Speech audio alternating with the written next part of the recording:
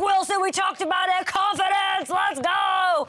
And he looked pretty good, okay? On the Jets side, what can you say? You jetsed it up. You let it slip through your you, you spray tan little fingers, people.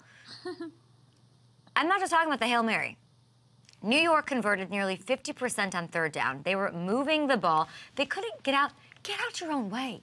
I'm, I'm, shaking you this morning. Get out your own way. Seven penalties on offense alone. One wiped out a touchdown. Another a key third down conversion.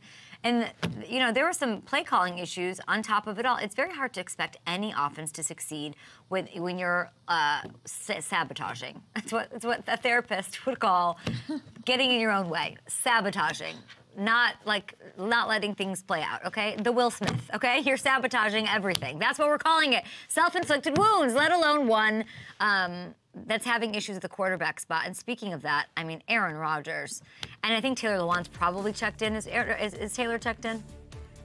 I have not. I don't want to bring him on, but I hope he's, I mean, me and Taylor are like, there's no way he's coming back in December. A week ago, no way. And here he is telling the great Melissa Stark, an absolute legend in her own right, that, yep, he's, he's eyeing a mid-December return.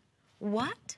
It only matters, of course, if the Jets can stay within like some sort of striking distance, battleship stuff, uh, to a playoff spot. This was a huge shot to their hopes. They needed this one. You got you got Aaron Rodgers telling Melissa that he can come back and play, and you guys are letting this slip through your grubby little fingers. What are we doing, New York? They got a trip to Buffalo coming up. Ugh, I've done that drive. Marissa's done that drive.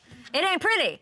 Uh-uh. It ain't pretty up in Buffalo, especially this time of year, followed by a meeting with the Dolphins the week after. Ugh. If they can't win at least one of those, I'm not sure Aaron Rodgers coming back can save the season. Aaron, that one's for you. Come back and save the season. A little, little something for Aaron.